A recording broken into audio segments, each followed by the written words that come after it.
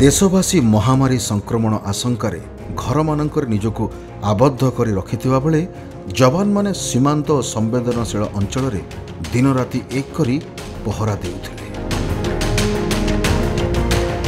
କନ୍ଧମାଳ ଜିଲ୍ଲା ବେଲଘର ସଂରକ୍ଷିତ ଜଙ୍ଗଲ ସିକ୍ରି ନିକଟରେ ଏସ୍ଓଜି ଅପରେସନ ଚାଲିଥିବା ବେଳେ ଲାଲ ବାହିନୀର ପାଲଟା ଗୁଳିରେ ଟଳି ପଡ଼ିଥିଲେ ଦେବାଶିଷ।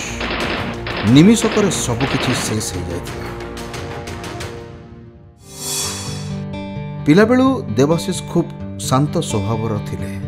ପାଠ ସହିତ ଖେଳରେ ବି ବାଜିମାତ କରୁଥିଲେ ଦେବାଶିଷ। ସବୁବେଳେ ସବୁ କ୍ଷେତ୍ରରେ ଦେବାଶିଷଙ୍କ ସ୍ମୃତିକୁ ଅନ୍ୟମାନେ ଅନୁଭବ କରୁଥିଲେ। କିନ୍ତୁ ନିୟତିର ନିର୍ଦ୍ଦେଶ ଥିଲା କିଛି ଅଲଗା। ଦୁଇ ହଜାର ନଅରେ ମୁଁ ତାଙ୍କୁ ହାଇସ୍କୁଲରେ ପଢ଼ାଉଥିଲି। ସେ ଆମ ଅଙ୍ଗପଡ଼ା ପଞ୍ଚାୟତ ରାଜ ହାଇସ୍କୁଲରେ ପାଠ ପଢ଼ୁଥିଲେ। ଆଉ ପଢ଼ିବା ସମୟରେ ବହୁତ ବିନମ୍ର ଥିଲେ। ଗୋଟେ ଭଲ ଗୁଣ ତାଙ୍କର ବିନମ୍ର ଗୁଣ ନଈମା ଗୁଣ। ଆଉ ପାଠ ପ୍ରତି ତାଙ୍କର ବହୁତ ଆଗ୍ରହ ଥିଲା। ଆଉ ସେ ଟ୍ୟୁସନ୍ ବି ମଢ଼ିକି ଯାଉଥିଲେ। ଆଉ ଯାହା କଥା କହୁଥିଲେ ବି ଶିକ୍ଷକଙ୍କ କାନକୁ ବି ଶୁଣୁନଥିଲା। ତାପରେ ହାଇସ୍କୁଲରେ ପଢ଼ିଲା ବେଳକୁ ଟିକେ ସେ ଭୟାତୁର ଥିଲେ। ଆଉ ପାଠ ପ୍ରତି ଆଗ୍ରହ ଦେଖିକିରି ମୁଁ ବି ତାଙ୍କୁ ଘର ଆମ ଘରକୁ ବି ସେ ଯାଉଥିଲେ ଟ୍ୟୁସନ୍ ବି ହେଉଥିଲେ।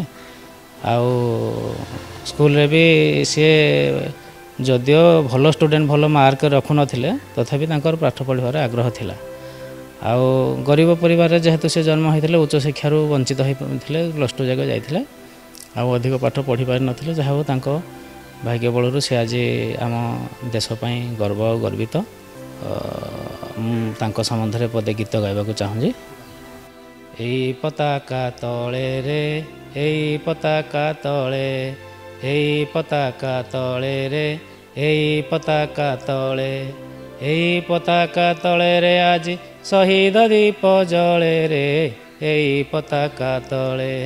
ଦେବାଶିଷ ଆମ ଶହୀଦ ହେଲେ ଦେବାଶିଷ ଆମ ଶହୀଦ ହେଲେ କଥା ରହିଲା କାଳେ କାଳେରେ ଏଇ ପତାକା ତଳେ ଏଇ ପତାକା ତଳେରେ ଏଇ ପତାକା ତଳେ। ଆଜ୍ଞା ତା ପାଇଁ ବୋଲିକିରି ଆମ ଏଇ ଅଞ୍ଚଳ ପୁରା ଅନୁଗୁଳଠୁ ଧରିକିରି ଏଠୁ ଏପଟେ ରେଢ଼ାଖୋଲ ପର୍ଯ୍ୟନ୍ତ ଲୋକ ଏକତ୍ରିତ ହୋଇଥିଲେ। ଜଣେ ଶହୀଦ ଆମ ଏରିଆରେ ପୂର୍ବରୁ କେହି କେବେ ଶହୀଦ ହୋଇନଥିଲେ ତେଣୁ ଶହୀଦଙ୍କୁ ସମ୍ମାନ ଜଣାଇବା ପାଇଁ ଯଦିଓ କରୋନାର କରାଳ କାଳ ମଧ୍ୟରେ ପ୍ରବଳ ଲୋକର ଜନସମାଗମ ହୋଇଥିଲା ଆଉ ସମସ୍ତେ ଆଜି ବି ଦେବାଶିଷ ସେଠିକୁ ଝୁରୁଛନ୍ତି।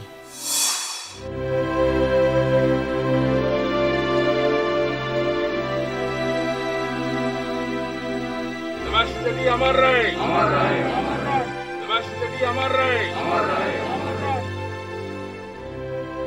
ଏଭଳି ଏକ ଦୁଃଖଦ ଖବର ଗାଁ ମାଟିରେ ପହଞ୍ଚିବା ପରେ ଲୋକାରଣ୍ୟ ହୋଇ ଉଠିଥିଲା ଅଙ୍ଗପଡ଼ା